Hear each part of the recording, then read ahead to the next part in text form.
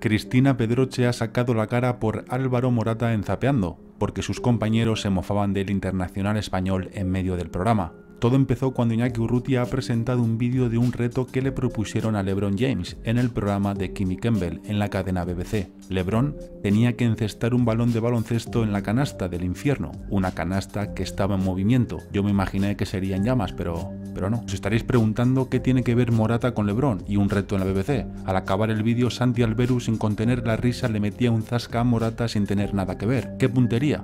Me pregunto qué pasaría si Morata fuera baloncestista y le pusieran este reto. No solo se quedó ahí, Santi se contestó él mismo. Bueno, no me lo pregunto, lo sé, como señalando que sabía de sobra qué pasaría.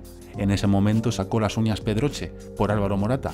Le advirtió que con Morata ni una. Bastante seria se puso Cristina, claro, no entendía como no entendí yo el ataque gratuito a Morata que no está pasando bien justo después de lo que pasó en la reciente Eurocopa. Por eso Cristina Pedroche sacó las uñas por Álvaro para defenderle. Para mí fue una broma, porque seguro que fue una broma, pero fue una broma fuera de lugar. Yo, con todos mis respetos, a Santi Alberu no acabo de pillarle. Suscríbete para más noticias.